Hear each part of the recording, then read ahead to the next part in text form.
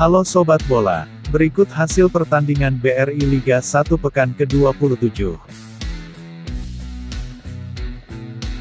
Hari Rabu tanggal 23 Februari. Barito Putra harus puas bermain imbang 1-1 menghadapi Persija Jakarta. Persija lebih dulu membuka papan skor setelah Irfan Jauhari memanfaatkan umpan Osvaldo Hai pada menit ke-61. Keunggulan Persija hanya bertahan 5 menit, Barito Putra berhasil menyamakan kedudukan dari eksekusi penalti Bruno Matos.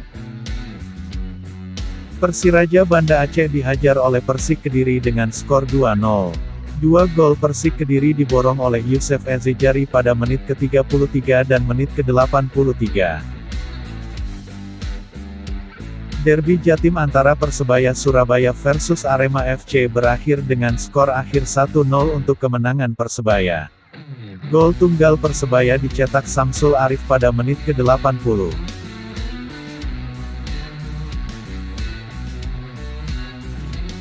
Berikut ini klasemen sementara BRI Liga 1 pekan ke-27.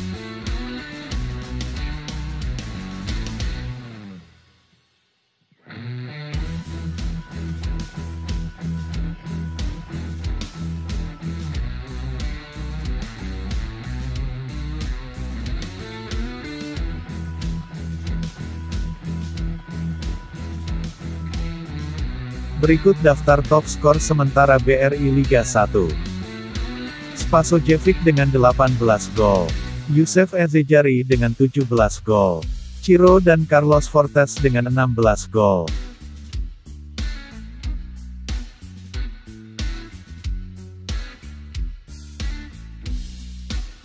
Berikut daftar top asis sementara Liga 1.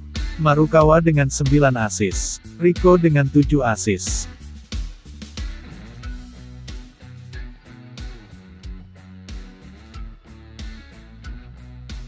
Itulah hasil pertandingan, klasemen dan top skor sementara BRI Liga 1, 2021-2022. Jangan lupa klik tombol subscribe. Terima kasih.